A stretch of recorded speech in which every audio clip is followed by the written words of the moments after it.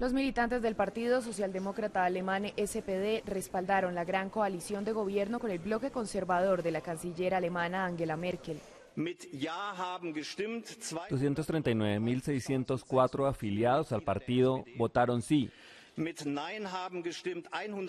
123.329 integrantes votaron no. Esto representa un 66,02% por el sí y un 33,98% por el no.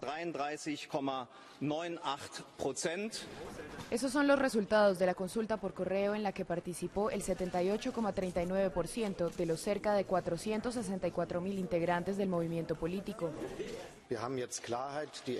Ahora tenemos claridad. El Partido Socialdemócrata se une al nuevo gobierno. El movimiento no tomó esta decisión a la ligera. Tomó semanas de discusiones profundas, transparentes y abiertas sobre el acuerdo de coalición. A través de Twitter, la canciller Merkel felicitó al SPD por lo que calificó de una clara decisión y aseguró que espera seguir trabajando por el bien de Alemania. Los representantes del SPD informaron además que la próxima semana anunciarán a los seis ministros que les corresponden en este nuevo gobierno y resaltaron que serán tres mujeres y tres hombres.